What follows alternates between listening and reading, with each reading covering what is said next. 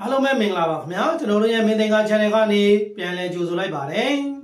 ကျွန်တော်တို့ရဲ့မင်းသင်္ကာ channel ကနေဒီနေ့တင်ဆက်ပေးမယ့်အကြောင်းအရာကတော့ဆီယာမလေးခိုင်ဆွေစင်တင်းရဲ့ခုနှစ်ရက်သားသမီးများတွေတပတ်တာဟောစံကြီးကိုတင်ဆက်ပေးမှာပဲဖြစ်ပါတယ်ခင်ဗျာဆီယာမလေးခိုင်ဆွေစင်တင်းရဲ့ဟောစံကြီးကိုနားမသိနေမှာကျွန်တော်တို့ရဲ့မင်းသင်္ကာ channel ကို subscribe မလုပ်ရသေးဘူးဆိုရင် subscribe နှိပ်ပြီးအားပေးသွားကြပါ နောက်နေ့များဟောစံများအမြဲတမ်းစနေရန်အတွက်လည်းဘေးနောက်ကခေါင်းလောင်းလေးကိုတောင်းလဲမိအောင်တစ်ချက်လောက်တော့တီးပေးသွားကြပါခင်ဗျာ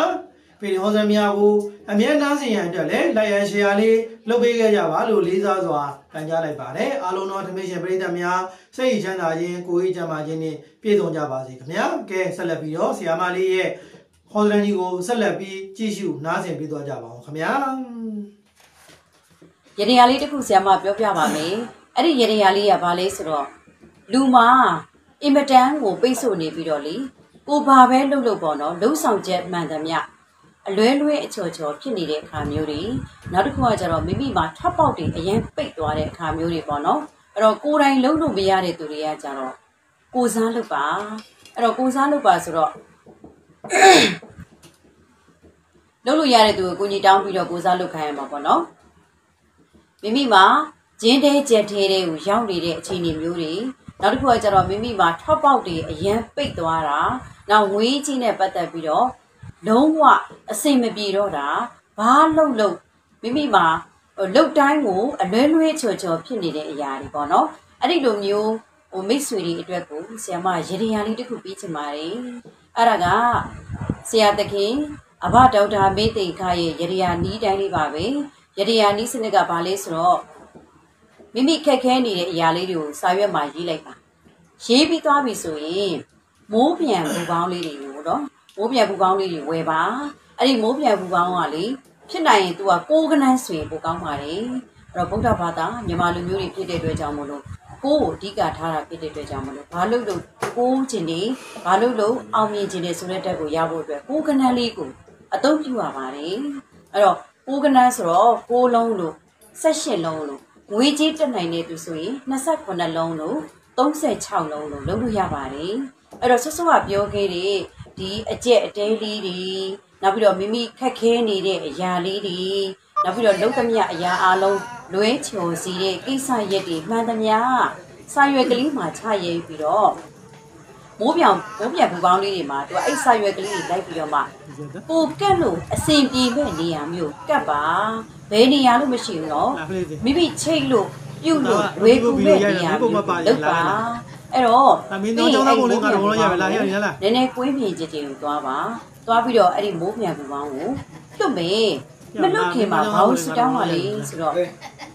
ဒီဖြစ်ချင်တဲ့ငွေကြေးချက်တဲ့နောက်ပြီးတော့ဂျောင်ပိတ်မိနေတာဂျင်းတဲ့ချက်တဲ့ရောက်နေတာ အဲ့ဒီလိုလူအများဆုံးအတွက်ကိုလှုပ်ဆောင်လို့ရပါတယ်နော်အဲ့တော့ကင်ထားကင်ထားပြီးသွားပြီဆိုရင်ဆူတောင်းမေးအတိတ်ပေကဆိုင်းမိသိခါပြောခဲ့ဘူးလေသူကလေးမပြန်ဝဲ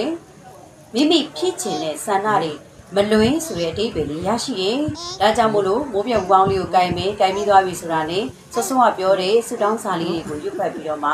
တေချာ6ချိန်တီတီဆူတောင်းရမယ်6ခါတီတီဆူတောင်းရမယ်အချိန်ကကြိုက်တဲ့အချိန်လုပ်လို့ရတယ်နေ့ကလည်းကြိုက်တဲ့နေ့လုပ်လို့ရတယ်ဘယ်နေ့ဘယ်ချိန်ကိုမဆိုလုပ်လို့ရတဲ့ဤစနစ်ကလေးပါအဲ့တော့ကင်ထားမယ်ကင်ထားပြီးသွားပြီဆိုတာနဲ့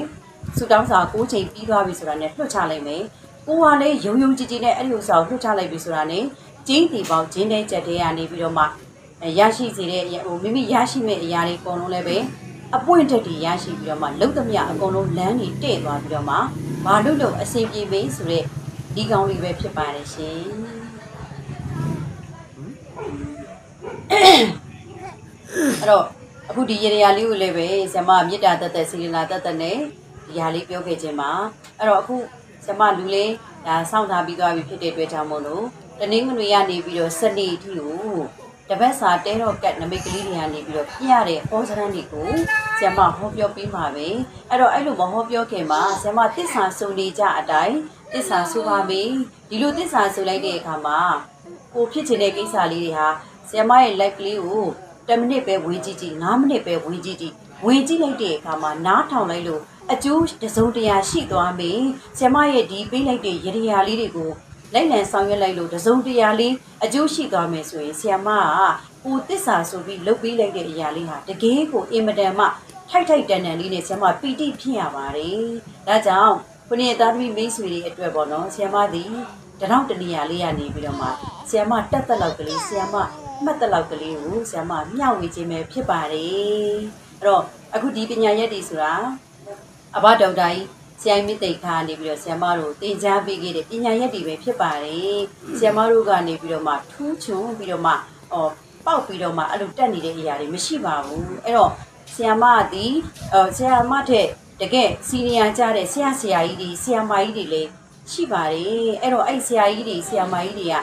တရားဖို့တည်တဲ့အသည့်ဆိုရင်ဆရာမတစေဘူးတော့တည်ပါတယ်အဲ့တော့အဲ့တစေဘူးတည်တဲ့အသည့်လေးနဲ့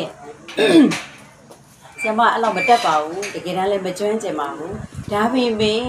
ခုနှစ်ရဲ့သားသမီးတွေမိတ်ဆွေတွေပေါ့နော်ဆရာမ30ဘူးတိထားတဲ့အတိလေးနဲ့ပေါ့နော်ဆရာမပူညီချင်းပူညီချင်းနဲ့စိတ်ကလေးတစ်ခုပဲရှိပါတယ်ဒါကြောင့်မို့လို့ဆရာမအဲ့ဒီလိုမျိုးမေတ္တာစေတနာတွေအပြည့်အဝထားပြီးတော့မှအခုလိုအပတ်စဉ်တိုင်းအပတ်စဉ်တိုင်းမှာမေတ္တာတက်တက်စေတနာတက်တက်နဲ့လိုက်ဖွင့်ပေးနေခြင်းပဲဖြစ်ပါတယ်ရှင်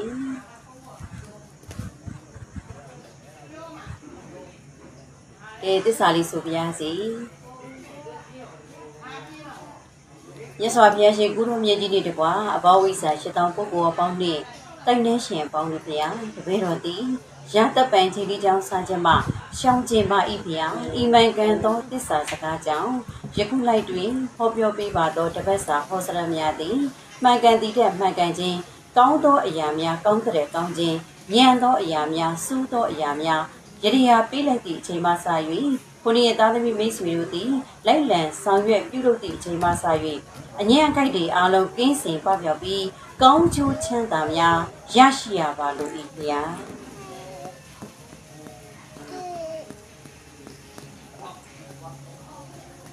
ကျေးဇူးများတင်ပါတယ်ဆရာမဆရာဆရာတကယ်ကျေးဇူးရှင်ဆရာမကဟုတ်ပါတယ်ရှင်ကျေးဇူးတင်ပါတယ်ဆရာမရဲ့တားတော်ကို အရမ်းမှန်လို့အပတ်စဉ်ကြည့်ပါတယ်ဆိုတော့အကောင့်ပန်ရှင်လေးဆရာမတကယ်ကိုလိုက်လိုက်လေးလေးနဲ့ကျေးဇူးတင်ပါတယ်အခုလိုလေးဆရာမကိုလေဟိုတိုက်ဆိုင်တာပေါ့နော်တိုက်ဆိုင်လို့မှန်ကန်တယ်လို့ပြောပြတဲ့အတွက်လည်းတကယ်ကိုကျေးဇူးတင်ပါတယ်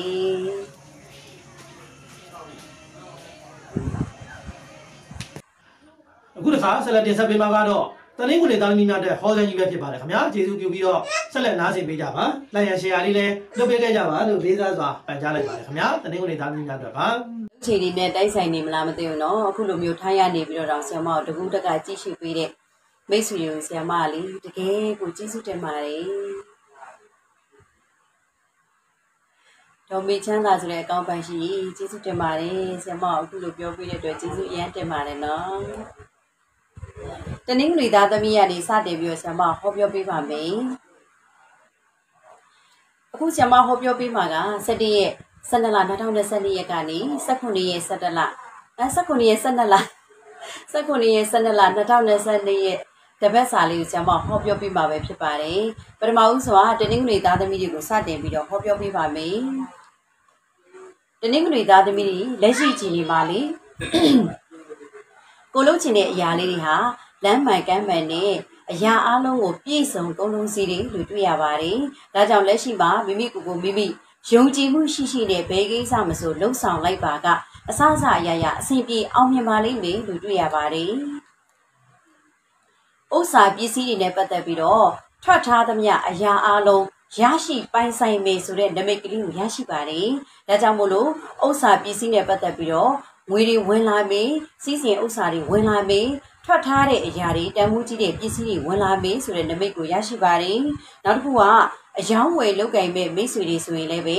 ဒီတစ်ပတ်ထဲမှာရောင်းအားလည်းကောင်းတယ်လို့ဝယ်အားလည်းကောင်းမှာပဲဖြစ်ပါတယ်။ရောင်းအားတွေလည်းဖန်ဖန်ကန်ကန်ရောင်းကောင်းတယ်လို့ဝယ်အားလည်းမှန်မှန်ကန်ကန်နဲ့ဝယ်တဲ့အရာမျိုးတွေလည်းပဲတွေ့ရပါတယ်။မိတ်ဆွေရဲ့ပေါင်းသင်းနဲ့ပတ်သက်ပြီးဆိုရင် အမျိုးသမီးတွေကိုပဲသတိထားရပါမယ်။အဲ့တော့တနင်္ဂနွေသားသမီးတွေဟာမိတ်ဆွေပေါင်းသင်းနဲ့ပတ်သက်ရင်ဘယ်ကိစ္စမဆိုရင်ထဲမှာလီးလီးနက်နက်ကလေးနဲ့ခင်မင်တက်တဲ့ရင်ထဲမှာလီးလီးနက်နက်နဲ့တန်ရုံးစင်ရှိတတ်ပါတယ်။သူတစ်ပါးကိုကိုကထုတ်ဖော်ပြီးတော့မပြတတ်ဘူး။ဒါပေမဲ့ကိုယ့်ရင်ထဲမှာလေးစားမှုတွေကိုယ့်ရင်ထဲမှာခင်မင်မှုတွေကိုယ့်ရင်ထဲမှာကြည်နူးမှုတွေကအဲ့ဒီတစ်ဖက်သားမိတ်ဆွေအပေါ်မှာတကယ်ကိုရောက်ရှိပါတယ်သို့တော်လည်းပဲ ကိုကိုမိတ်ဆွေအပေါင်းအသင်းနဲ့ပတ်သက်ပြီးတော့အမျိုးသမီးအကြီးအကဲတွေအမျိုးသမီးအကြီးပိုင်းတွေရဲ့ဒုက္ခပေးခြင်းနောက်တစ်ခါညှိုးညင်းခံရခြင်းအပြစ်မြင်ခံရခြင်းဒါလေးတွေ့ရပါတယ်ဒါကြောင့်ဒါလေးကိုပြောတာဆိုတာလေးတွေမိမိဘက်ကသတိထားရှောင်ကျဉ်လိုက်နိုင်နေဆိုရင်အဲ့ဒီလိုကိစ္စမျိုးတွေဟာတွေးဖယ်သွားမှာပဲဖြစ်ပါတယ် အိမ်တွင်းနဲ့ပတ်သက်ပြီးတော့အစင်မပြေမှုတွေတစ်ခုပြီးတစ်ခုဆိုသလိုကြုံတွေ့နေရပါတယ်မိမိအိမ်တွင်းထဲမှာဦးနေပဲ့ထောင်ပဲ့နေဦးထောင်ဆိုသလိုပဲအိမ်ပူအိမ်စုလေးတွေဖြစ်တတ်ပါတယ်နောက်အိမ်အယောင်းဝယ်လုတ်ကင်မဲ့မိတ်ဆွေတွေဆိုရင်ဒီတစ်ပတ်ထဲမှာအယောင်းဝယ်တွေနှေးနေပါလိမ့်မယ်စာချုပ်ချုပ်ဆိုဖို့လက်တလောလေးမှာပဲဖြစ်မဲ့ဆဲဆဲမှာပြက်သွားတတ်ပါတယ်။နောက်မြေနဲ့ပတ်သက်ပြီးတော့အယောင်းဝယ်လုတ်ကင်မဲ့မိတ်ဆွေဆိုရင် စာရွက်စာတမ်းစရင်စရာကိစ္စတွေမှာအရှုပ်ထွေးတွေပေါ်တတ်ပါတယ်။ဒါလေးသတိထားပေးပါ။နောက်တစ်ခုကကြတော့ခရီးသွားမဲ့မိတ်ဆွေတွေခရီးနဲ့ပတ်သက်ပြီးတော့ကိုယ့်ဘက်ကနေပြီးတော့ဘာသာတရားခိုင်ခိုင်လုံလုံနဲ့ခရီးထွက်မယ်ဆိုရင်အဲ့ဒီခရီးဟာသွားလန်းတာလာလန်းနေဖြောင်းပြပြီးတော့အစီပြေချုံးမွေမယ်ဆိုတဲ့နမိတ်ကလေးကိုရရှိပါတယ်။ နိုင်ငံရခြားသွားမယ်လို့ရည်ရွယ်ထားတဲ့မိတ်ဆွေတွေလည်းပဲဒီတစ်ပတ်အတွင်းမှာနိုင်ငံခြားနဲ့ပတ်သက်တဲ့အဆက်အသွယ်ကောင်းသတင်းကောင်းတွေကိုရရှိမှာပဲဖြစ်ပါတယ်။ဆွေမျိုးညီကိုမောင်နှမနဲ့ပတ်သက်ရင်မိမိမှာစိတ်ဝမ်းနေခွဲတာစိတ်တွေစိတ်ဆင်းရဲနေရတာမိမိမှာမကြည်မလင်တွေဖြစ်နေရတာဆွေမျိုးသားချင်းအချင်းချင်းထဲမှာကို အတိုက်အခိုက်ကလေးတွေရှိနေတတ်ပါတယ် ရန်အန်ဒီရဲ့လုံးဝကိုမတွေ့ရပါဘူးရန်အန်ဒီရဲ့ကင်းတဲ့အပြင်ဘာသာရေးကိုအကြောင်းပြုတဲ့ဒီဘာသာရေးနဲ့ပတ်သက်တဲ့ပုံကိုယ်တွေဘာသာရေးနဲ့ပတ်သက်တဲ့ဆရာသမားတွေရဲ့အကူအညီစောင့်ရှောက်ကောင်းအထောက်ပံ့ကောင်းတွေကိုများစွာရရှိစီမှာပဲဖြစ်ပါတယ်မိမိနေအိမ်ပါလဲပဲဘာသာရေးနဲ့ပတ်သက်တဲ့အလှူအတန်းကိုတေးသေးလေးလုပ်တယ်ဆိုပေမဲ့ကြီးကြီးကျယ်ကျယ်လှုပ်ဖြစ်သွားတဲ့နမိတ်ကလေးကိုလည်းရရှိပါတယ်နော်အချီအေးနဲ့ပတ်သက်ရင် ချစ်သူကြီးစားတွေမှာတိုးလိုတန်းလန်းနေဖြစ်တတ်ပါတယ်တိုးလိုတန်းလန်းဆိုတာကအစင်မပြေမှုလေးတွေကျုံနေပြီဆိုရင်တယောက်နဲ့တယောက်ကမခေါ်နိုင်မပြောနိုင်ဖြစ်နေပြီးတော့အဆက်အသွယ်တွေပြတ်တောက်နေတတ်ပါတယ်အိမ်တော်ရေးနဲ့ပတ်သက်ရင်တော့မိမိအိမ်တော်ဘက်အပေါ်မှာမိမိစိတ်ကအလိုမကျမှုတွေတောင်းလျှောက်ကြုံတွေ့နေရပြီးတော့အိမ်တော်ကြီးမှာမကြာခဏဆိုသလိုကြောက်ကဆနဲ့စကားတွေများနေရမှာပဲဖြစ်ပါတယ်ကျမ်းမာရေးနဲ့ပတ်သက်ရင် ခြေထောက်အောက်ပိုင်းတွေကျမ်းမာရေးညက်တက်ပါတယ်ခြေထောက်တွေကြိုက်တာခဲတာနာတာကျင်တာတွေကြုံတွေ့ရတတ်ပါတယ်ဒါကြောင့်လေ့ကျင့်ခန်းလေးကိုပုံမှန်လေးလုပ်လမ်းလျှောက်တာဒါမှမဟုတ်ရင်လည်းလေ့ကျင့်ခန်းလေးကိုပုံမှန်လေးလုပ်ပေးတာဒီလိုမျိုးလေးလုပ်သွားမယ်ဆိုရင်ကျမ်းမာရေးနဲ့ပတ်သက်ပြီးတော့စူးကျုံမတွေ့ရပါဘူးနော်ငြိမ်းချမ်းမှုအေးချမ်းမှုကြည့်တဲ့အခါမှာမိမိရင်ထဲမှာဘလောက်စုနေပါတယ်ငြိမ်းချမ်းခြင်းဆိုတာလည်းပဲလောလောဆယ်မရှိသေးပါဘူးပူပန်မှုတွေပဲတစ်ခုပြီးတစ်ခုဆိုတို့ ကြုံတွေ့နေရပါတယ်ဒါပေမဲ့မိမိစိတ်ကသာဒီလိုပူပန်နေပေမဲ့မိမိစီကိုကြောက်ရွံ့လာမဲ့ကံကြမ္မာတွေနမိတ်တွေဟာကောင်းသောကြားရောက်ခြင်းတွေကောင်းသောအရာဝတ္ထုတွေကောင်းသောသတင်းတွေကောင်းသောငွေကြေးလက်လာပါတွေပွင့်လန်းမေးဆိုတဲ့နမိတ်ကိုရရှိပါတယ်ထီထူးကန်ဆန်းလိုသူမိတ်ဆွေပေါင်းတဲ့ဒီဒီတစ်ပတ်ချင်းမှာခုနှစ်တလုံးကိုအပိုင်ကင်ပြီးတော့ထီထူးကန်ဆန်းမယ်ဆိုရင်ထီခံအားလည်းကောင်းနေမှာပဲဖြစ်ပါတယ် နောက်တစ်ခုကကြတော့ကံပွေကန်ဆင်းမိမိဘက်ကကံအားကောင်းစေခြင်းနေဆိုရင်တော့ဘာသာရေးကိုအထူးတလေလုပ်စေခြင်းပါတယ်ဘာသာရေးအားနေနေတဲ့မိတ်ဆွေတွေလည်းပဲမိမိဒီနေ့ကနေစပြီးတော့ငါသည်ဘာသာရေးနဲ့ပတ်သက်ပြီးတော့အဋိဌံတစ်ခုခုကိုဆွေးဆွေးမြဲမြဲလုပ်မယ်ဆိုတဲ့တန်ဋိဌံလေးချလိုက်တာနေဒီတစ်ပတ်ထဲမှာကျင်းသေးပေါင်းငွေကြီးကိစ္စလူမှုရေးကိစ္စပြောဆိုရေးရာကိစ္စမှန်သမျှအဆင်ပြေအောင်မြင်မှာပဲတွေ့ရပါတယ်လက်လာပါနဲ့ပတ်သက်ပြီးတော့လက်လာပါတွေ ပိုဝင်လာတဲ့ငွေတွေဟာမိမိစီမှာအဖက်မတင်သေးပဲနဲ့ပြန်ပြီးတောက်လျှောက်ထွက်ပြီးတော့မှတောက်လျှောက်ထုတ်သုံးနေရမယ်ဆိုတဲ့နမိတ်ကိုတွေ့ရပါတယ်။အားလုံးနဲ့ပတ်သက်ပြီးတော့ပူပန်စရာဘာတွေရှိလဲတဲ့။ဘာမှပူပန်စရာမတွေ့ရပါဘူး။ပူပန်စရာမရှိတဲ့အပြင်မထင်ထားတဲ့အကြောင်းအရာတွေမထင်ထားတဲ့ကိုယ့်ရဲ့ကံတွေဟာကောင်းခြင်းတွေကိုတောက်လျှောက်ကြုံတွေ့စီရမှာပဲဖြစ်ပါတယ်။အဲတော့တနင်္ဂနွေသားသမီးတွေတပတ်စာကိုဆရာမက ကန်ဆာတာအရင်အခိုက်ကလေးတွေကံအထောက်ပံ့ကလေးတွေရရှိစေပြီးတော့အညံလေးတွေပြေပြောက်စေဖို့အတွက်ကိုရရရလေးပေးချင်ပါတယ်ပြုလုပ်ဆောင်ရမယ့်ရရရလေးကမိမိနေအိမ်ကဖျားသို့မဟုတ်ဇေဒီတဆူဆူပေါ့နော်ရွက်လလေးခက်ရည်တပြေ6ခက်ရည်နှစ်ခုကိုနှီးလေးနဲ့ချီပြီးတော့မှရေတန့်တန့်လေးဆေးပြီးတော့မှ ဖျားမှာထူတန်းလိုက်ခြင်းဖြင့်တပတ်စာရောင်းအားလဲကောင်းပြီဝယ်အားလဲကောင်းပြီနောက်ငွေချင်းနဲ့ပတ်သက်ပြီးတော့လက်ရှင်လာပြီမျိုးကြီးဆိုရာကိစ္စအမှန်ပါလဲပဲကျင်းတီပေါက်ကိုပြောဆိုရရာကိစ္စမှန်သမျှအလုံးစုံပြည့်စုံအဆင်ပြေမှာပဲတွေ့ရပါတယ်ရှင်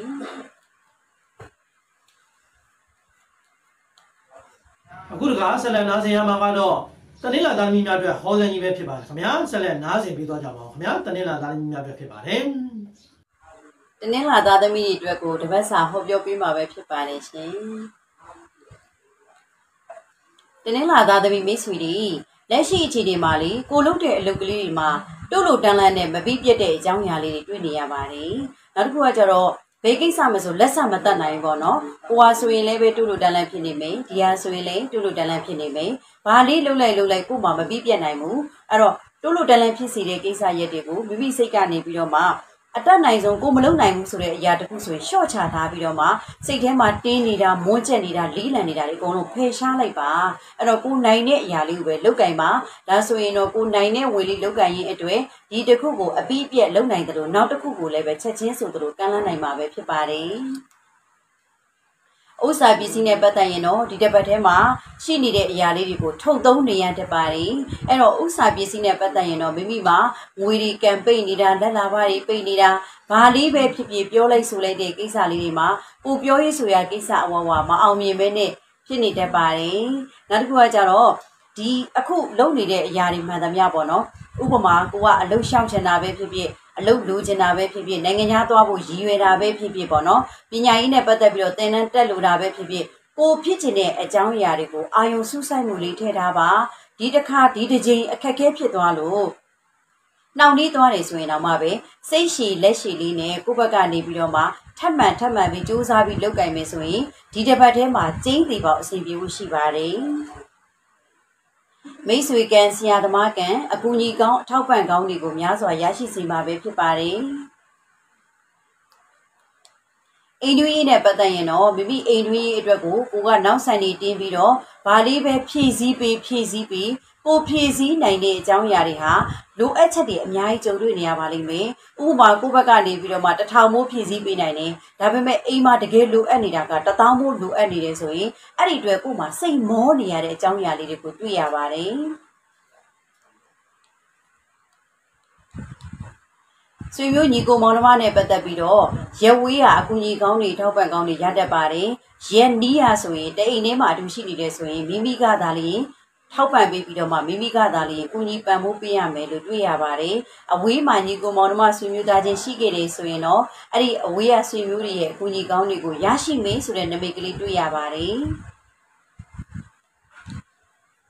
ရန်အန်ဒီရဲ့လုံးဝမရှိပါဘူးရှင်ရန်အန်ဒီရဲ့မရှိပေမဲ့ကိုလုံနေတဲ့အလုပ်ကလေးမှာဂျားကန်အဲ့လိုမျိုးတိုက်ခိုက်တိုက်ခိုက်တာလေးတွေ ဂျားကန်အဖြတ်ဝင်တာလေးတွေတော့ရှိပါတယ်ဒါကလည်းပဲအနေအချင်းပဲဒါကလည်းအာဂါနုပဲခဏလေးနဲ့ပျောက်ကင်းသွားပါလိမ့်မယ်မိမိဘက်ကစိတ်ထက်ခိုင်မာဖို့တာလေးရဲ့အရေးကြီးပါတယ်အချီးနဲ့ပတ်သက်ပြီးတော့အချီးကံအလွန်ကောင်းပါတယ်မိမိချစ်သူကမိမိကိုကျင်နာတာယူရတာချစ်ခင်စေတာ အဲ့ဒါလေးလေကြုံတွေ့ရနိုင်တယ်လို့မိမိကကြိတ်ပြီးတော့ချစ်နေတာပဲဖြစ်ဖြစ်မိမိကိုတယောက်ယောက်ကစိတ်ဝင်စားနေတာပဲဖြစ်ဖြစ်ရှေ့ဆက်တိုးရမယ်ဆိုတဲ့နမိတ်ကလေးတွေ့ရပါတယ်အိမ်တော်ရှင်အိမ်တော်ရေးမှာဆိုလို့ချင်းတော့အိမ်တော်ရှင်မိတ်ဆွေတွေအတွက်ကဒီအချိန်မှာအိမ်တော်ဘက်ရဲ့ယာရုတော်၎င်းဝေကြီးတော်၎င်းလုပ်ငန်းတော်၎င်းအစီပြေအောင်မြင်နေဆိုတဲ့သတင်းကောင်းတစ်ခုကိုကြားရပါလိမ့်မယ်ကျမ်းမာရေးနဲ့ပတ်သက်ရင်မိမိအနေနဲ့ ခါးတွေအရန်ကြိုက်တာစီးဆက်တွေကြိုက်တာခါးပပတ်လေဒီမှာအကျောတွေတင်းပြီးတော့ဆွဲဆုပ်ထားသလိုနာကျင်တာမျိုးလေးတွေခံစားရတတ်ပါတယ်ဒါလေးကိုတော့ view ဆိုင်ပေးပါနော်ငိမ့်ချမ်းမှုအခြေအနေကိုကြည့်တဲ့အခါမှာမိမိစီကိုစောစောတော့ဆရာမပြောခဲ့တယ်လို့ပဲဘယ်ကိစ္စမဆိုတိုးလို့တန်းလန်းနဲ့မပြီးပြတ်တဲ့အရာမှန်သမျှကိုစိတ်ထင်းရနေဖယ်ရှားလိုက်ပြီးတော့လုံနိုင်တဲ့လောက်ကလေးလှုပ်ဆောင်ခြင်းဖြင့်မိမိမှာငြိမ်းချမ်းခြင်းတွေအေးချမ်းခြင်းတွေ ဘာပဲဖြစ်ဖြစ်လှုပ်ဆောင်နိုင်ပြီဆိုတဲ့ဒိဋ္ဌံလေးတန်တိတန်ချလိုက်ပြီဆိုတာနဲ့ဒီတစ်ပတ်တော်တွင်းမှာအလုံးစုံပြည့်စုံစေမှာပဲဖြစ်ပါတယ်အစဉ်ပြေမဲဆိုတဲ့နမိတ်ကိုရရှိပါတယ်ထီတိုးကန်ဆန်းလို့သူမိတ်ဆွေတွေက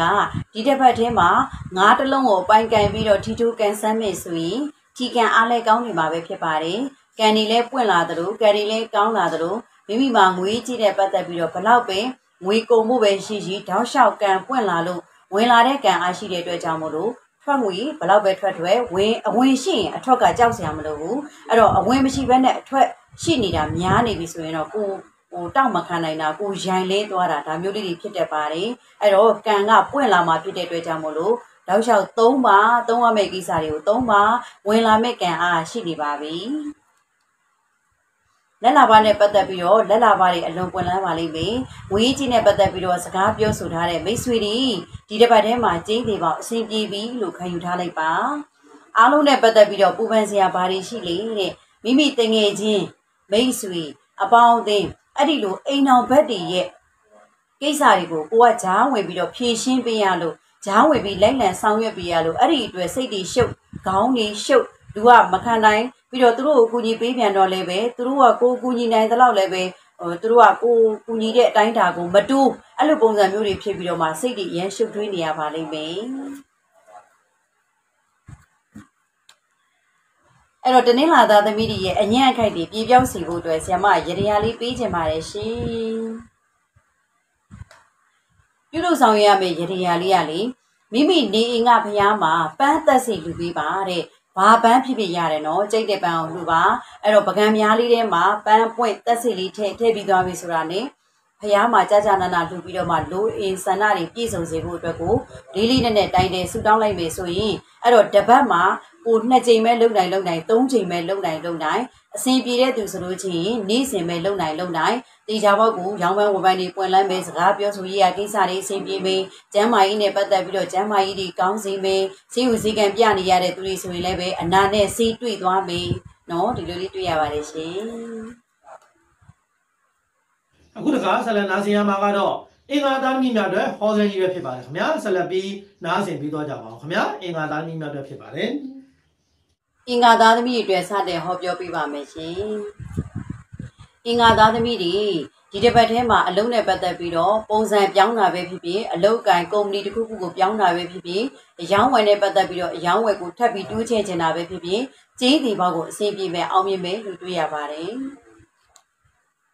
ဥစ္စာပစ္စည်းနဲ့ပတ်သက်ပြီးတော့ရင်းနှီးမြှုပ်နှံမှုကြောင့်ဥစ္စာပစ္စည်းတွေထွက်တတ်ပါတယ်။တခုခုကိုကိုက လူချင်းလို့ရင်းနှီးမြှုပ်နှံလိုက်တယ်။အဲ့ဒီအတွက်ဒီမှာရှိနေတဲ့ငွေကြီးတွေရှိနေတဲ့တန်မိုးကြီးပစ္စည်းတွေကိုထုတ်သုံးရတတ်ပါတယ်။ထုတ်သုံးရတယ်ဆိုပေမဲ့ဒါဟာရင်းနှီးမှုတစ်ခုကိုပြုလုပ်ဆောင်ရွက်လိုက်တာပါ။အလားဟတဲ့ငွေကုန်တယ်လို့မတွေ့ရဘူးနော်။ဒါကြောင့်ပြန်ဝင်လာပါလိမ့်မယ်ရရှိပါလိမ့်မယ်။ မိတ်ဆွေနဲ့ပတ်သက်ပြီးတော့ကိုတကယ်ယုံကြည်ရပါတယ်ဆိုတဲ့မိတ်ဆွေကမိမိကိုမကူညီနိုင်ဘဲနဲ့ဘေးရှောင်သွားတာနောက်မတိချင်အောင်ဆောင်သွားတာဒါမျိုးလေးကြုံတွေ့ရတတ်ပါတယ်ဒါကြောင့်မိတ်ဆွေနဲ့ပတ်သက်ပြီးတော့မိမိရဲ့စိတ်ကနေအယံကံရောကြီးယုံကြည်မှုတွေအရင်မထည့်ထားပါနဲ့ကိုလှုပ်ရှားရှိတာလေးတွေကိုပုံမှန်အားဖြင့်ပဲလှုပ်သွားပါစိတ်ကလည်းပဲကိုထားတတ်တယ်ဆိုရင်တေချာပေါက်အဆင်ပြေပါလိမ့်မယ်နောက်တစ်ခုကနိုင်ငံရေးခြားသွားခြင်းတဲ့မိတ်ဆွေတွေဒီတစ်ပတ်ထဲမှာနိုင်ငံခြားနဲ့ပတ်သက်တဲ့ ကိစ္စရပ်လေးတွေအခွင့်အသားနေပါလိမ့်မယ်။နောက်ခရီးတစ်ခုခုကိုသွားခြင်းနဲ့ပြည်တွင်းခရီးကိုသွားခြင်းနဲ့မိတ်ဆွေတွေလည်းပဲခရီးကန်လေးတွေကောင်းနေတယ်ခရီးသွားလို့အဆင်ပြေပါလိမ့်မယ်။အိမ်နဲ့ပတ်သက်ပြီးတော့အိမ်နွေးရေးမှာမိမိဖြစ်ဖြစ်ချင်တဲ့အကြောင်းအရာတစ်မျိုးအိမ်ကဖြစ်ချင်တဲ့ဆန္ဒတစ်မျိုးနဲ့လွဲလွဲချော်ချော် လေးတွေဖြစ်ပြီးတော့မှနားလည်မှုလေးတွေလွဲတတ်ပါတယ်နောက်တစ်ခုကကျတော့တချို့အိမ်ပြင်ခြင်းနဲ့အိမ်ဆောင်ခြင်းနဲ့ဒီအချိန်မှာမလုပ်ပါနဲ့ဒီတစ်ပတ်ထဲမှာမလုပ်ပါနဲ့ရှောင်ပါအိမ်ရောင်းဝယ်လုပ်ကိုင်နေသူတွေဆိုရင်မြန်မြန်ဆန်ဆန်ရောင်းစရာရှိတာကိုရောင်းပါဒီတစ်ပတ်ထဲမှာမရောင်းပြဘူးဆိုရင်တော့ကိုကတင်ထားတာဥပမာ100တင်ထားတယ်ဆိုလို့ချင်းဒီတစ်ပတ်ထဲမှာရောင်းမယ်ဆိုလို့ချင်း100ရရင်လည်းရမယ်90ရရင်လည်းရမယ်အဲ့ဒါရောင်းထုတ်လိုက်တော့စဉ်းစားမနေနဲ့တော့တကယ်လို့ ဒီတစ်ပတ်မှာမယောင်းဖြစ်သေးပဲနဲ့ကိုကစောင့်တိုင်းလိုက်မယ်ဆိုလို့ချင်းရင်နောက်ပိုင်းမှာအယောင်းဝယ်တွေဈေးတွေကျပြီးတော့မှကိုကရတတ်ပါတယ်။နောက်မြေအယောင်းဝယ်လုတ်ကင်ပေမိတ်ဆွေဆိုရင်ဒီတစ်ပတ်ထဲမှာမြေအယောင်းဝယ်ကိုခဏလေးရက်ထားပြီးပါ။နောက်ပိုင်းကျမှကိုမြေအယောင်းဝယ်ကိုတုံးတုံးတက်တိုက်လှုပ်ဆောင်ပါ။ဒီတစ်ပတ်ထဲမှာမြေယောင်းဖို့လုပ်ပြီးဆိုရင်ကိုလိုချင်တဲ့ဈေးကိုမရတတ်ပါဘူးနော်။ဆွေမျိုးညီကိုမောင်မနဲ့ပတ်သက်ရင် စိတ်မကောင်းစရာသတင်းတွေကြားတတ်တယ်အဲ့တော့စိတ်မကောင်းစရာသတင်းဆိုတာဘယ်လိုမျိုးလဲဆိုတော့ကျမ်းမာရေးမကောင်းတာနောက်ပြီးတော့တခုခုအဲ့လိုမျိုး accident ဖြစ်လို့ကြားရတဲ့သတင်းတွေအဲ့ဒါမျိုးလေးတွေကိုရတတ်ပါတယ်တကယ်လို့မိမိဆွေမျိုးသားချင်းထဲမှာကိုဆက်သွယ်လို့ရတဲ့သူဆိုလို့ချင်းကျမ်းမာရေးဂရုစိုက်ပါနော်ရေချိုးသတိထားပါနော်နောက်တစ်ခုကနွေ့နွေ့ထွေးထွေးနေပါနော်ဒီလိုချင်းကအေးတဲ့အချိန်တွေဖြစ်တဲ့အတွက်ကြောင့်မို့လို့ကျမ်းမာရေးဂရုစိုက်စေချင်ပါတယ် ရန်အန်ဒီရှိနေပါတယ်မိမိမှာရန်နေအတိုက်ခိုက်တွေအနှောက်အယှက်တွေဒုက္ခပေးမဲ့သူတွေအနားမှာအစင်သင့်ဆိုသလိုရှိနေပါတယ်ဒါကြောင့်မို့လို့မိမိဘက်ကအဲ့ဒီရန်အပေါင်းကိုကာကွယ်နိုင်စေဖို့အတွက်ကိုအမြဲတမ်းဂုံတော်တွေကိုပွားများပါအမြဲတမ်းရွတ်ဖတ်တဲ့စေတွေပါဒါဆိုရင်တော့မိမိကိုဒုက္ခပေးလာမယ်ဆိုတော့ရန်တွေဟာတွေးဖယ်သွားပါလိမ့်မယ် အချီးနဲ့ပတ်သက်ရင်အချစ်တစ်တွေရတတ်ပါတယ်အဲ့တော့မိမိလက်ရှိချစ်သူကြီးစားရှိနေတယ်ဆိုလို့ချင်းပို့ပို့ပြီးတော့မှမိမိတို့ချစ်သူနှစ်ယောက်ပို့ပြီးနီးစပ်ပြီးတော့မှတကယ်အိမ်အောင်ဘက်အဖြစ်ရွေးချယ်ဖို့အတူကိုစကားတွေပြောနေရတတ်ပါတယ်အိမ်အောင်ကြီးနဲ့ပတ်သက်ရင်တော့အိမ်အောင်ဘက်ရဲ့ကျမ်းမာရေးကြောင့်မို့လို့တစ်ခုပြီးတစ်ခုဆိုသလိုစိတ်မကောင်းစရာတွေစိတ်ရှုပ်စရာလေးတွေနောက်ဆန်တင်းစရာလေးတွေကြုံတွေ့နေရပါလိမ့်မယ် ကျမ်းမာရေးနဲ့ပတ်သက်ရင်အင်္ဂါသားသမီးတွေဟာဒီတစ်ပတ်ထဲမှာမိမိအနေနဲ့ခေါင်းတွေမကြည်တာကိုဖြစ်တတ်ပါတယ်။ခေါင်းတွေနောက်တက်တယ်။အဲ့တော့အေးအေးအရန်ပြက်မခံပါနဲ့။အေးအေးပြက်ပြီးတကယ်လောက်ရတဲ့သူတွေဆိုလို့ချင်းလည်းပဲဟိုမိမိဘက်ကနေပြီးတော့မှတကယ်အေးအေးပြက်လာပြီဆိုရင်အာရုံစီတဲ့အရာလေးတွေကိုအစာအာဟာရကိုပြည့်ပြည့်ဝဝစားပါပြီးရင်လန်လန်ဆန်းဆန်းဖြစ်ဖြစ်စေမဲ့ဆေးဝါးတက်စာလေးတွေကိုမှီဝဲပါ။ဒါဆိုရင်ကျမ်းမာရေးနဲ့ပတ်သက်ပြီးတော့အန္တရာယ်ကင်းပါလိမ့်မယ်။ ငြိမ်းချမ်းမှုအခြေအနေဟာမိမိစီကိုမကြခင်မှာပဲရောက်လာပါတော့မယ်အဲ့တော့ဒီတစ်ပတ်ရဲ့ငြိမ်းချမ်းမှုအခြေအနေကိုကြည့်လိုက်တဲ့အခါမှာမိမိစိတ်တည်လေးလံနေတဲ့အရာတွေကိုလုံးဝပပျောက်ပြီးတော့မှစိတ်တွေပေါ်ပါနေတာတက်ကြွနေတာလှုပ်ချင်ကိုင်းကျင်တဲ့စိတ်တွေဖြစ်ပေါ်နေတာအလုတ်ဆိုရင်လည်းပဲငါဒီကိစ္စကိုလုပ်လိုက်ရင်ငါစိတ်ထဲမှာဖြစ်ကိုဖြစ်မယ်လို့ယုံကြည်နေတယ်ဆိုရက်စိတ်ထဲမှာအပြည့်အဝဖြစ်နေတယ်လို့ဒီတစ်ပတ်ထဲမှာတွေ့ရပါတယ်ထီတိုးကန်ဆန်းလို့သူမိတ်ဆွေတွေဒီတစ်ပတ်ထဲမှာကိုးတလုံးကိုအပိုင်ကန်ပြီးတော့ထီတိုးကန်ဆန်းမယ်ဆိုရင် ထီကန်အားလည်းကောင်းနေမှာပဲဖြစ်ပါတယ်နောက်တစ်ခုကကန်နေလည်းကောင်းလာသလိုကန်နေလည်းပွင့်လာပြီလို့တွေ့ရပါတယ်ရှင်လက်လာပါနဲ့ပတ်သက်ပြီးတော့အလုံးကိုရှင်လန်းလာပါလိမ့်မယ်။ဈေးအယောင်းဝယ်လုတ်ကင်တဲ့မိတ်ဆွေများရောင်းပန်းဝယ်ပန်းတွေအရန်ကိုပွင့်လန်းလာပါလိမ့်မယ်။မိမိစိတ်ကနေပြီးတော့ငါတော့ဒါလေးကိုရောင်းကျင်လိုက်တာငါတော့ဒါလေးကိုစိုင်လေးထပြီးတော့ဖွင့်ကျင်လိုက်တာလို့ တွေးတောနေုံနဲ့ပင်မိမိစိတ်တွေဟာပေါ်ပါလန်းဆန်းပြီးတော့မှတကယ်လို့ရင်တကယ်အဆင်ပြေမယ်ဆိုတော့နမိတ်တွေကိုအများကြီးရရှိပါပဲဖြစ်ပါတယ်။အားလုံးနဲ့ပတ်သက်ပြီးတော့ပူပန်စရာဘာကိုမှမတွေ့ရပါဘူး။ဒါပေမဲ့တခုတော့ရှိပါတယ်။အဲ့ဒါကဘာလဲဆိုတော့တက်ကြီးရွယ်အိုတွေအတွက်ကိုနောက်ဆန်တင်ရတာအိမ်ကမိသားစုကလေးငယ်လေးတွေအတွက်ကိုနောက်ဆန်တင်ရတာအဲ့လိုနောက်ဆန်တင်ရမယ့်ကိစ္စရပ်လေးတွေတော့ပေါ်လာပါလိမ့်မယ်။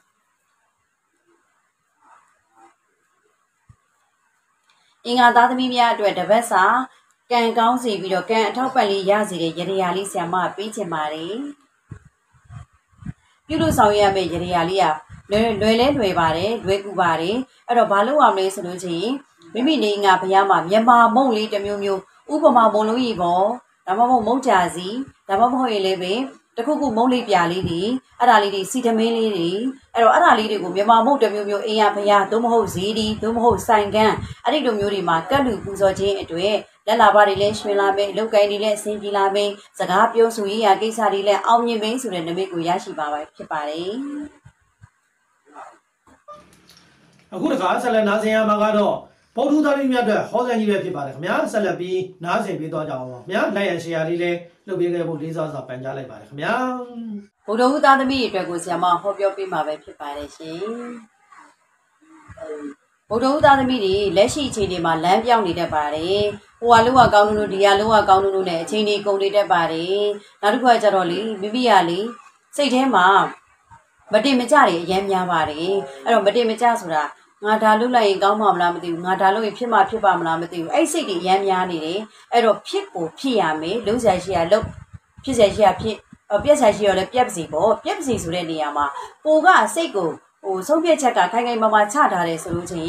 ပြတ်သွားတယ်ဆိုရင်လည်းချက်ချင်းပြန်ကောက်ပြင်လို့ရတဲ့အနေအထားမျိုးလေဒါကြောင့်မို့လို့လုံးဆရာရှိတာတွေကိုဆုံးဖြတ်ချက်ခိုင်ခိုင်မာမာချပြီးတော့မြန်မြန်ဆန်ဆန်နဲ့လောက်ကင်လိုက်မယ်ဆိုရင်အဆင်ပြေပါတယ်အခုတော့စိတ်ထဲမှာဘလို့ဖြစ်နေလဲဆိုတော့တွေးဝေနေပါတယ် လုပ်ရင်ကောင်းမလားလုပ်မလုပ်ရင်ကောင်းမလားဒီလိုမျိုးတွေတွေးဝေနေတယ်အဲ့တွေးဝေနေတဲ့ဟာတွေကိုဖယ်ရှားလိုက်တော့နော်ဥစ္စာပစ္စည်းနဲ့ပတ်သက်ပြီးတော့ဝင်လာပါလိမ့်မယ်တန်ဖိုးကြီးတဲ့ပစ္စည်းတွေဝင်လာဖို့ရှိတယ်မိမိအနေနဲ့ကိုရည်ရွယ်ထားတဲ့ကိစ္စရက်တွေဆိုလို့ချင်းလည်းပဲဘယ်ကိစ္စမဆို ဝေးကြီးနဲ့ပတ်သက်ပြီးတော့ရည်ရွယ်ထားတာရည်မှန်းထားတာအဲ့ဒီကိစ္စတွေအားလုံးအဆင်ပြေလာမယ်လို့တွေ့ရပါတယ်အဲ့တော့အခုလက်ရှိအခြေအနေမှာတော့လက်ထဲမှာလည်းငွေမရှိဘူးတစ်ချက်မှလည်းမရှိဘူးတပြားမှလည်းမရှိဘူးအဲ့လိုမရှိပေမဲ့လည်းဆ iam ရဲ့နမိတ်မှာကဒီတစ်ပတ်တော်ထဲမှာငွေကြီးနဲ့ပတ်သက်ပြီးတော့အဆင်ပြေမယ်ပြည့်စုံမယ်လုံလောက်တယ်ဆိုတဲ့နမိတ်ကိုရရှိတဲ့အတွက်ကြောင့်မို့လို့ဘယ်ကိစ္စပဲဖြစ်ဖြစ်စိတ်ထဲမှာငါရကိုရရမယ်ဆိုတဲ့အတွေးလေးကိုထည့်ထားပေးပါ မိတ်ဆွေကန်အရန်ကောင်းပါတယ်မိတ်ဆွေကန်လည်းကောင်းတယ်ကုညီမဲ့သူတွေလည်းပေါ်မယ်ထောက်ပံ့ပေးမဲ့သူတွေလည်းပေါ်မယ်နောက်ကိုကပြောလိုက်ပြီဆိုလို့ချင်းလည်းချောချောမွေ့မွေ့နဲ့ရှောရှောရှူရှူနဲ့ပြောရဆိုရလွယ်ကူမယ်လို့တွေ့ရပါတယ်နော်အိမ်နဲ့ပတ်သက်ပြီးတော့အိမ်ရဲ့သတင်းကောင်းတွေကြားရမယ်အိမ်ရဲ့အကူအညီကောင်းတွေရမယ်အိမ်ရဲ့အထောက်ပံ့ကောင်းတွေရပါလိမ့်မယ်အိမ်ရောင်းဝယ်လုပ်ကင်မဲ့မိတ်ဆွေတွေအိမ်ရောင်းဝယ်ကောင်းပါလိမ့်မယ်အလုတ်ကင်နဲ့ပတ်သက်ပြီးတော့အလုတ်လိုချင်တဲ့မိတ်ဆွေတွေဒီတစ်ပတ်ထဲမှာကျင်းသေးပေါင်းအင်တာဗျူးတန်းခေါ်မယ် အင်တာဗျူးခေါ်ဆိုတဲ့အခါကျလို့ချင်းမိမိဘက်ကအဝါနုရောင်လေးကိုဝစ်သွားပါဒါဆိုရင်တော့မိမိအင်တာဗျူးဒီတခါတည်းတန်းပြီးတော့ဖြေပြီးတော့2ရက်3ရက်တော့တွင်ထဲမှာချက်ချင်းဆိုသလိုအကြောင်းကြားလာပါလိမ့်မယ်အလုတ်ရပြီအလုတ်ခေါ်ပါပြီဆိုတဲ့နမိတ်ကလေးကြားရပါလိမ့်မယ်နော်လာစားလဲကောင်းပဲအလုတ်ကလေးလဲကောင်းပဲသွားရလာရတာလည်းပဲဂလန်ခီချုံးဝေပြီးလွယ်ကူမေးဆိုတဲ့နမိတ်ကလေးတွေ့ရပါတယ် ဆွေမျိုးညီကိုမောင်နှမနဲ့ပတ်သက်ရင်တော့ဘယ်ကားမှအကူကြီးကောင်းလောလောဆယ်မရသေးပါဘူးဆွေမျိုးသားချင်းတွေနဲ့ပတ်သက်ပြီးတော့မိမိကပဲဘာလေးပဲဖြစ်ဖြစ်နှုတ်ဤတော်၎င်းကိုဤတော်၎င်းကူညီဆောင်မရမယ်ဆိုတဲ့အရာလေးကိုပဲတွေ့ရပါတယ်ရန်အန်ဒီအတိုက်ခိုက်တော့ရှိပါတယ်အဲ့တော့သွားသတိလာသတိပြီးအမြဲတမ်းထားပါနောက်ပြီးတော့မိမိရဲ့စိတ်ထဲမှာလက်လွတ်စပယ်မနေပါနဲ့ဘယ်နေရာလေးပဲသွားသွားမျက်စိရှင်းရှင်းလေးထားပါအဲ့တော့ကို့မှာတွေ့ရတဲ့နမိတ်ကရန်အတိုက်ခိုက်ကဘာလဲဆိုတော့သွားရင်လာရင်နဲ့ရုတ်တရက် ဥပမာစပိန်တော်၎င်းစိုက်ကားတော်၎င်းနောက်ပြီးတော့ဆိုင်ကယ်တော်၎င်းကားတော်၎င်းအဲ့လိုထိမိခိုင်းမိပုတ်မိရှာမိမယ်ဆိုတဲ့အရာလေးတွေတွေ့ရပါတယ်ဒါကြောင့်ဂရုစိုက်ပါနော်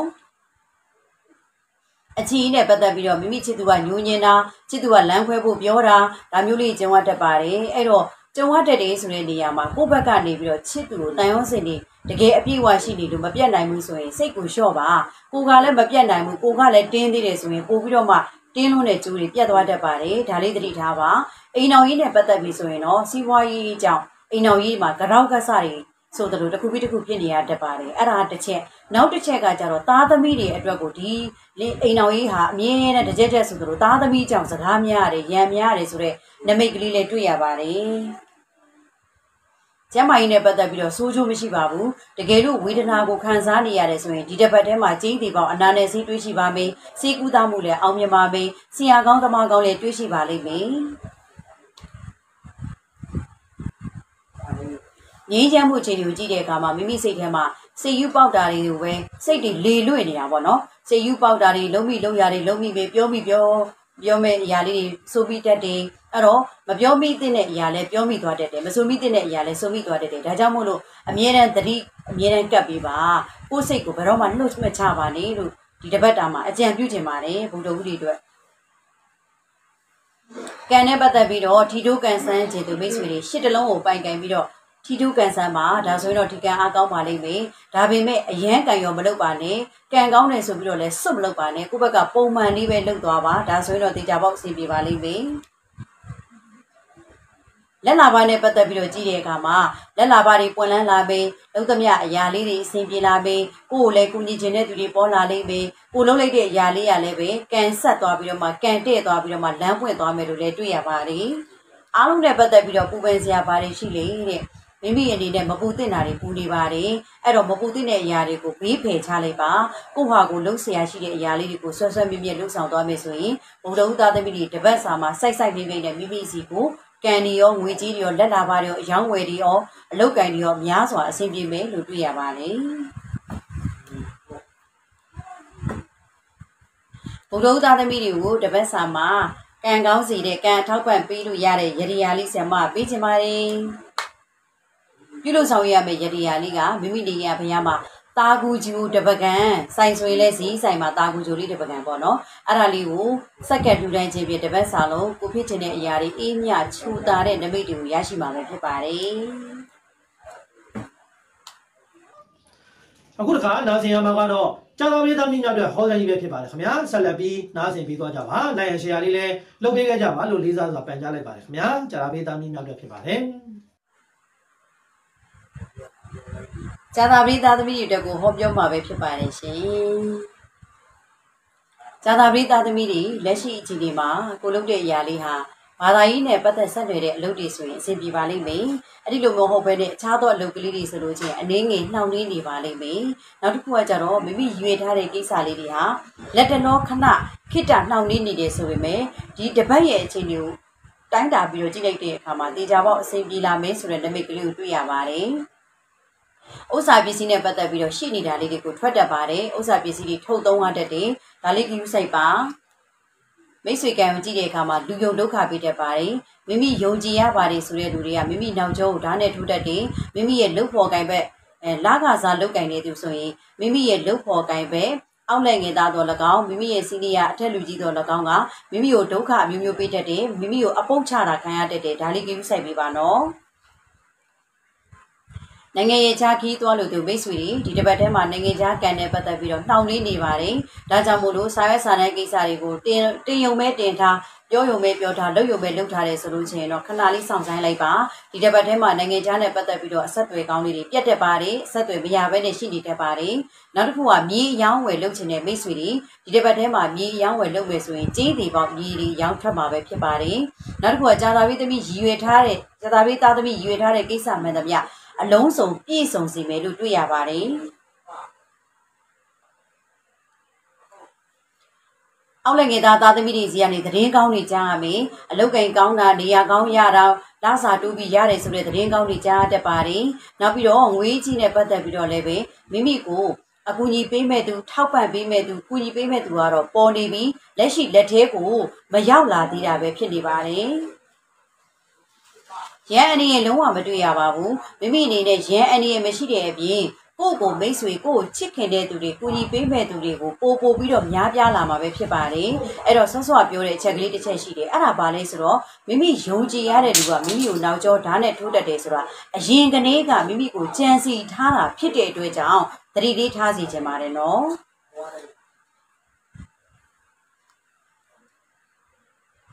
အချီးနဲ့ပတ်သက်ရင်ချစ်တဲ့တွေတွေ့ရမယ်အချီးနဲ့ပတ်သက်ပြီးတော့မျက်နှာလဲပွင့်လန်းမယ်မိမိချစ်နေတဲ့သူကလည်းမိမိကိုဖွင့်ပြောလာတာမျိုးနောက်တစ်ခါကျတော့မိမိကြိတ်ပြီးခိုက်နေရတဲ့သူကလည်းမိမိကိုဂယုပြန်ဆိုင်တာမျိုးအဲ့လိုမျိုးလေးတွေကြုံတွေ့ရတယ်နောက်တစ်ခုကကျတော့ချစ်သူမရှိသေးတဲ့သူတွေဒီတစ်ပတ်ထဲမှာချစ်သူတွေရတတ်ပါတယ်နော်အိမ်အောင်ရှင်မိတ်ဆွေတွေအတွက်ကတော့မိမိအိမ်တော်ဘက်နိုင်ငံခြားသွားမယ်လို့ရည်ရွယ်ထားတဲ့သူတွေဆိုလို့ချင်းနိုင်ငံခြားကံအတွက်ကိုအခွင့်အလန်းတာမဲ့အကြောင်းအရာတွေအများကြီးပေါ်လာမယ်ပြီးရင်နိုင်ငံခြားရောက်နေတဲ့မိမိရဲ့အဲ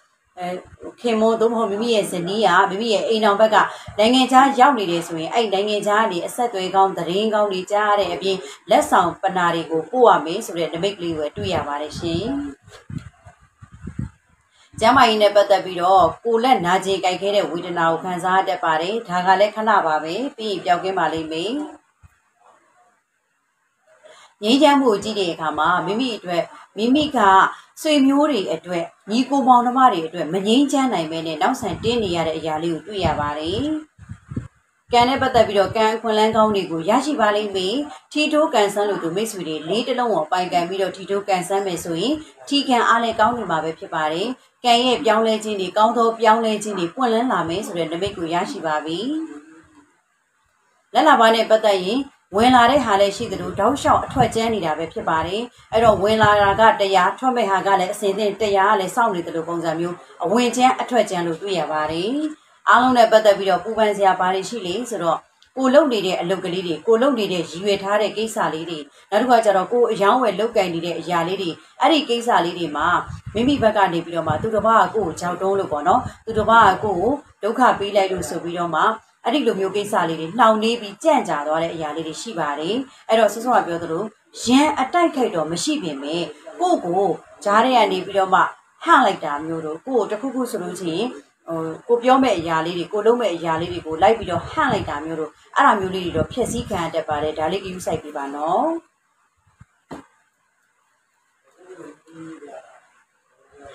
ဇာတာရီသားသမီးတွေအတွက်ကို ကံအထောက်ပံ့ဖြစ်စေမဲ့ရရရာလေးတစ်ခုကိုဆရာမပေးချင်ပါတယ်ပြုလို့ဆောင်ရွက်မဲ့ရရရာလေးကလေထူထူထူထူမဟုတ်ပါဘူးနေ့စဉ်မေတ္တာတုပ်ကိုခုနှစ်ခေါက်တောင်းလျှောက်ကလေးရွတ်သွားပေးပါမေတ္တာတုပ်မရတဲ့သူတွေကတော့နေ့စဉ်တရားဝါတွေအားလုံးကျမ်းမာပါစေချမ်းသာပါစေတရားဝါတွေအားလုံးကျမ်းမာပါစေချမ်းသာပါစေတရားဝါတွေအားလုံးကျမ်းမာပါစေချမ်းသာပါစေဆိုပြီးတော့တောင်းလျှောက်မေတ္တာလေးပို့တာခြင်းဖြင့်လည်းပဲကံအခွင့်အလန်းကောင်းတွေကိုရရှိစေမှာပဲဖြစ်ပါလိမ့်ရှင်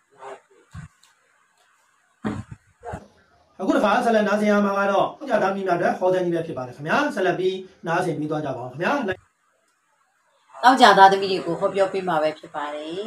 ။တောက်ကြသားသမီးတွေဒီတစ်ပတ်မှာကိုဖြစ်ချင်တဲ့အကြောင်းအရာလေးတွေကိုရည်ရွယ်ထားတဲ့ကိစ္စလေးတွေအလုံးစုံအဆင်ပြေမယ်ဆိုတဲ့နမိတ်ကလေးတွေ့ရပါတယ်။ဥစ္စာပစ္စည်းနဲ့ပတ်သက်ပြီးတော့ထွက်ထားတာတွေလည်းပြန်ဝင်လာသလိုနောက်ထပ်ထပ်ထပ်ပြီးတော့ တိုးပွားလာမေးဆိုတဲ့နမိတ်ကလေးလေးရရှိပါတယ်။ရည်ရွယ်ထားတဲ့ကိစ္စလေးတစ်ခုပြီးတစ်ခုဆိုသလိုအဆင်ပြေအောင်မြင်ပြီးတော့လှုပ်ဆောင်နေတဲ့အရာလေးတွေဟာလည်းပဲအဆက်မပြတ်ဆိုသလိုအလုပ်ကလေးတွေအဆင်ပြေပြီးတော့မှဝင်ငွေတွေကောင်းပြီးတော့ငွေကြေးကိစ္စလေးတွေပြည့်စုံမယ်လို့တွေ့ရပါတယ်။မိတ်ဆွေနဲ့ပတ်သက်ရင်တော့မိမိအနေနဲ့မိတ်ဆွေကောင်းဆရာသမားကောင်းအကြီးအကဲကောင်းတွေရဲ့အကူအညီကောင်းတွေထောက်ပံ့ကောင်းတွေရရှိပေးပြီးရင်မိတ်ဆွေနဲ့အလုပ်လုပ်တဲ့အရာမှန်သမျှအလုံးစုံပြည့်စုံပေး အဲနောက်တစ်ခါကျတော့အဆဆအရာရာအဆင်ပြေမင်းဆိုတဲ့နမိတ်ကလေးတွေ့ရပါတယ်ပညာရေးနဲ့ပတ်သက်ပြီးတော့သင်တန်းတက်လူတဲ့မိတ်ဆွေတွေလည်းပဲပညာနဲ့ပတ်သက်ပြီးတော့ကံအားလေးကောင်းပေသင်တန်းကိစ္စတွေကောင်းပေနောက်တစ်ခါကျတော့ပညာရေးကိုအဓိကထားပြီးလှုပ်ဆောင်တဲ့မိတ်ဆွေအားလုံးသတင်းကောင်းတွေကြားမယ်အလုပ်ကနေပြီးတော့မှအလုပ်တွေတစ်ခုပြီးတစ်ခုထပ်တိုးလာပြီးနောက်ဝင်ငွေတွေပို့ပြီးတော့တိုးလာမယ်လို့တွေ့ရပါတယ်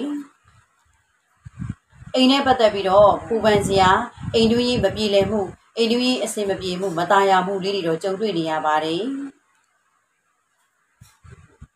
စီဝီညီကိုမောင်နှမနဲ့ပတ်သက်ရင်စိတ်ထဲမှာမွန်းကျက်စရာတင်းကျက်စရာဘလောက်ပဲကိုယ့်ဘက်ကကောင်းအောင်လုပ်ပြီးအကောင်းအထင်မှန်ခံရအောင်ဆိုတဲ့ဓမိတ်ကလေးတွေတွေ့နေရပါတယ်။အိမ်အယောင်းဝယ်လုပ်ပဲမိတ်ဆွေတွေအိမ်နဲ့ပတ်သက်ပြီးတော့ခိတ္တခဏလေးရက်ထားပါဒီလအတော်တွင်ပေါ့နော်။ အဲ့တော့ဒီတပတ်ပေါ့ဒီတပတ်အတော်တွင်ခိတ္တခဏရက်ထားပါအယောင်းဝယ်နဲ့ပတ်သက်ပြီးတော့မလုပ်ပါနဲ့ဟုတ်ခဏလေးစကားဈေးစကားပြောမယ်ဆိုလို့ချင်းခဏလေးစိုင်းငံ့ထားပါဒါဆိုရင်တော့အဆင်ပြေသွားမှာပဲဖြစ်ပါတယ်။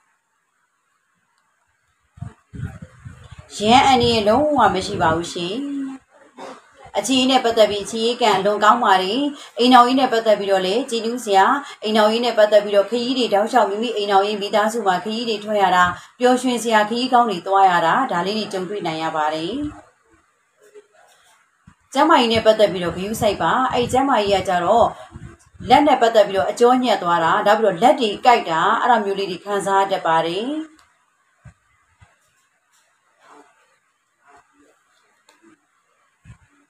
ငြိမ်းချမ်းမှုအခြေအနေတွေကြည့်တဲ့အခါမှာမိမိဘက်ကနေပြီးတော့ငြိမ်းချမ်းခြင်းတွေအေးမြခြင်းတွေစိတ်ချမ်းသာစရာတွေသတင်းကောင်းတွေဒီလိုမျိုးတွေကြားတတ်ပါတယ်ကံနဲ့ပတ်သက်ပြီးတော့ကံရဲ့အခွင့်အလမ်းကောင်းလေးတွေရရှိပါမယ်ထီကန်ဆန်းလူသူမိတ်ဆွေတွေဒီတစ်ပတ်မှာလေးတလုံးကိုပိုင်ကန်ပြီးတော့ထီကန်ဆန်းမယ်ဆိုရင်ထီကန်အားလည်းကောင်းနေမှာပဲဖြစ်ပါတယ်အလုတ်လိုချင်တဲ့မိတ်ဆွေတွေလည်းပဲဒီတစ်ပတ်မှာအလုတ်ကနေသတင်းကောင်းတွေကြားတတ်ပါတယ် လက်လာပါနဲ့ပတ်သက်ပြီးတော့အလွန်ကိုရှင်လန်းလာပါလိမ့်မယ်။လာစာတိုးပြီးတော့ရတာယာရုတက်တာနေရာကောင်းရတာအကြီးကဲကမိမိကိုချစ်ခင်တာဒါမျိုးလေးကြုံတွေ့ရပါလိမ့်မယ်။အားလုံးနဲ့ပတ်သက်ပြီးတော့ပူပန်စရာဘာတွေရှိလဲတဲ့။ဘာမှပူပန်စရာမရှိတဲ့အပြင်ကိုအလုံးလို့လို့ရတဲ့ချွေးနေစာတွေကနေပြီးတော့မှအလှအတန်းများစွာကိုလှုပ်လှုပ်ဆောင်တာပြီးတော့မှဥပမာပရာဟိတနဲ့ပတ်သက်တာမိဘမဲ့နဲ့ပတ်သက်တဲ့ကလေးလေးတွေမျက်မမြင်နဲ့ပတ်သက်တဲ့ အရာလေးတွေအဲ့လိုလှူပွဲပစ္စည်းတွေနဲ့တောင်းလျှောက်တစ်ခုပြီးတစ်ခုဆိုသူတို့ဇက်တိုက်လှူဒန်းနေရမှာပဲတွေ့ရပါတယ်ရှင်တောက်ကြသားသမီးအတွက်ကံထောက်ပံ့လေးဖြစ်စေမယ့်ရတရားလေးတစ်ခုကိုဆရာမပေးချင်ပါတယ်ပြုလို့ဆောင်ရွက်မဲ့ရည်ရအရန်လွယ်ကူပါတယ်မိမိရဲ့နေအိမ်မှာတော်၎င်းဇီဒီမှာတော်၎င်းဆိုင်ကမ်းမှာတော်၎င်း နွားတို့တစ်ခွက်နဲ့ပေါင်မုံတစ်လုံးနဲ့စက္ကန့်လှူဒန်းခြင်းဖြင့်ဒီတစ်ပတ်တာမှာလူဝင်ဆန္ဒတွေပြည့်စုံစေမယ်လို့တွေ့ရပါတယ်ရှင်အခုတခါဆက်လက်နားဆင်ရမှာကတော့စနေသားသမီးများအတွက်ဟောစရာကြီးပဲဖြစ်ပါခင်ဗျာဆက်လက်နားဆင်ပြီးတော့ကြပါအောင်ခင်ဗျာ like and share လေးလည်းလုပ်ပေးခဲ့ကြပါလို့လေးစားစွာပန်ကြားလိုက်ပါတယ်ခင်ဗျာစနေသားသမီးများအတွက်ပါစနေသားသမီးတွေအတွက်ဆရာမဟောပြောပေးမှာပဲဖြစ်ပါတယ် စနေသားသမီးမိတ်ဆွေတွေလက်ရှိအလုံးပါလေမိမိအနေနဲ့သူတစ်ပါးကအပြစ်မြင်တာအပြစ်ပြောတာဝေဖန်တာတွေအများဆုံးခံရတတ်ပါတယ်။အဲ့ဒီလိုခံရတဲ့အတွက်ကြောင့်မလို့စိတ်ထဲမှာစိတ်နှောက်ယှက်တွေတစ်ခုပြီးတစ်ခုဆိုသလိုကြုံတွေ့နေရပါလိမ့်မယ်။ဥစ္စာပစ္စည်းနဲ့ပတ်သက်ပြီးတော့ဥစ္စာပစ္စည်းတွေဝင်လာဖို့ရှိတယ်ငွေကြေးကံလဲရန်ကောင်းတယ်ငွေတော့ဝင်လာမယ်ဒါပေမဲ့စိတ်ထဲမှာမအေးချမ်းသေးဘူးလို့ခံစားနေရတယ်။ မိတ်ဆွေပေါင်းတဲ့ပတ်သက်ပြီးတော့အကူကြီးကောင်းတွေရရှိပါလိမ့်မယ်အကူကြီးကောင်းတွေလည်းပေးလာပါလိမ့်မယ်ပညာရေးနဲ့ပတ်သက်တာသင်တန်းနဲ့ပတ်သက်တဲ့ကိစ္စရပ်တွေအရန်ကောင်းပါတယ်နိုင်ငံရေးချားကိုထွက်မယ်လို့ရည်ရွယ်ထားတဲ့မိတ်ဆွေတွေလည်းပဲနိုင်ငံခြားကံအရန်ကောင်းတွေနိုင်ငံခြားနေဆက်သွယ်ကောင်းတွေရတတ်ပါတယ်တချို့နိုင်ငံခြားရောက်နေပြီးတော့အလုပ်မရသေးဘဲနဲ့ကြံ့ကြာနေတဲ့စရိသားသမီးရှိခဲ့တယ်ဆိုရင်ကျင်းသေးပါပြီတစ်ပတ်ထဲမှာအလုပ်ရပါလိမ့်မယ်နော်အိမ်နဲ့ပတ်သက်ပြီးတော့ မိမိအိမ်နူးကြီးတော့အဆင်ပြေစရာဟိုတောက်လျှောက်ကရှိနေပြီးသားဒါပေမဲ့ဆွေမျိုးတွေနဲ့ပတ်သက်ပြီးဆိုလို့ချင်းအာယုံနောက်ဆရာခေါင်းရှုပ်ဆရာနောက်တစ်ခါကျတော့မိမိကခေါင်းခံရတာတာဝန်ယူရတာပင်ပန်းတာအဲ့ဒါမျိုးလေးတွေတစ်ခုပြီးတစ်ခုဆိုသလိုကြုံတွေ့နေရပါလိမ့်မယ်အောက်လက်ငယ်သားသားသမီးတွေကကျမ်းမာရေးတစ်ခုပြီးတစ်ခုညံ့တာစိတ်ဥစည်းကံပြရတာအဲ့ဒါလေးတွေ့ရတယ်နော်ဒါကြောင့်မို့လို့ကျမ်းမာရေးကိုဂရုစိုက်ခိုင်းပါရန်အန်ဒီရလေးတွေရှိပါတယ်အဲ့တော့ရန်အန်ဒီရဆိုတာက စိုးဝတဲ့ရန်အန်ဒီရမျိုးမဟုတ်ဘဲနဲ့မိမိကိုတစ်ခုပြီးတစ်ခုဆိုသလိုပေါ့နော်လိုက်ပြီးတော့တိုက်ခိုက်နေတာအပြစ်ပြောနေတာအဲ့ဒီလိုမျိုးတွေအကြောင်းမလို့အာယုန်တွေနောက်နေရပါလိမ့်မယ်စိတ်ထဲမှာအမြဲတမ်းလိုလိုမကြည်မသာလေးတွေတောက်လျှောက်ခံစားနေရပါလိမ့်မယ် အခြေအနေနဲ့ပတ်သက်ပြီးတော့အလုံးကိုစိတ်ညစ်စရာတွေခေါင်းရှုပ်စရာတွေကြုံရပါလိမ့်မယ်မိမိချစ်သူအတွက်ကိုမိမိရဲ့တာဝန်တွေယူပြီးတော့မှဖြည့်ရှင်းပေးရတဲ့အကြောင်းအရာလေးပေါ်လာပါလိမ့်မယ်အိမ်အောင်ရှင်မိတ်ဆွေတွေအတွက်ကလည်းပဲအိမ်တော်ကြီးမှာလင်းရင်မယားရင်တကြက်ကြက်ဆိုသလိုနားလည်မှုတွေတောက်လျှောက်လွဲနေပြီးတော့မှပြဿနာလေးတွေပေါ်နေတတ်ပါတယ်နော်ဘာမဟုတ်တဲ့ကိစ္စလေးတွေနဲ့ပြဿနာပေါ်တတ်ပါတယ်ကျမ်းမာရေးနဲ့ပတ်သက်ပြီးတော့သတိထားပါကျမ်းမာရေးအနေနဲ့ဘာတွေဖြစ်တယ်လဲဆိုတော့မိမိအနေနဲ့ ရင်ညွန့်နေအောင်တာရင်နေချက်တာအေးပတ်တာအဲ့လိုအသက်ရှူမဝတာဒါမျိုးလေးတွေခံစားရတတ်ပါတယ်ဂိမ်းဆိုင်ပေးပါငြိမ်းချမ်းမှုကြည့်တဲ့အခါမှာမိမိဒီတစ်ပတ်အတော်တွင်းနဲ့အနာဂတ်ကလေးဟာအရန်ကိုငြိမ်းချမ်းမှုလေးတွေပေါ်လာပါလိမ့်မယ်မိမိလှုပ်ဆောင်တဲ့အရာလေးတွေဟာလည်းကောင်းသောလှုပ်ဆောင်ခြင်းတွေဖြစ်တဲ့အတွက်ကြောင့်မို့လို့အများရဲ့ချီးမွမ်းခြင်းနောက်ပြီးတော့ချီးမြှောက်ခြင်းနောက်တစ်ခုကကျတော့ဘာလေးပဲဖြစ်ဖြစ်ကိုဖုံးတကိုတက်စီတယ်ဆိုတဲ့နမိတ်ကလေးတွေတစ်ခုပြီးတစ်ခုဆိုသလိုရရှိမှာပဲဖြစ်ပါတယ်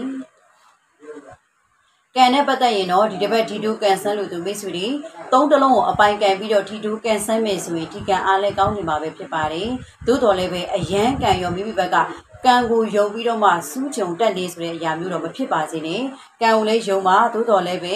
မိမိအနေနဲ့ထိုက်တဲ့တလောက်ကလေးတွေလုပ်ပြီးပါ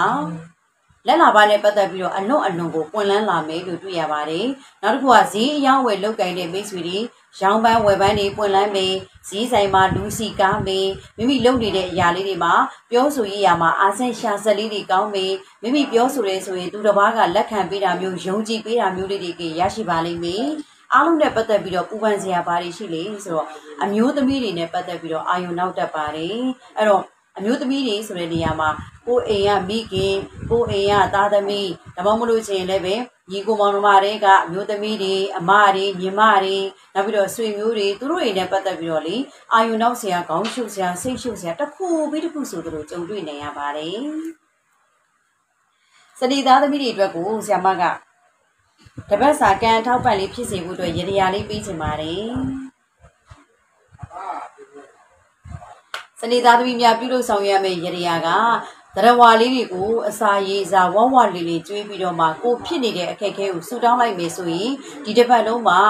ဖြစ်ချင်နေတဲ့အရာဆန္ဒတွေဟာမြန်မြန်ပြီးမြောက်ပြီးတော့မြန်မြန်အဆင်ပြေမင်းလူတွေ့ရပါတယ်ရှင်။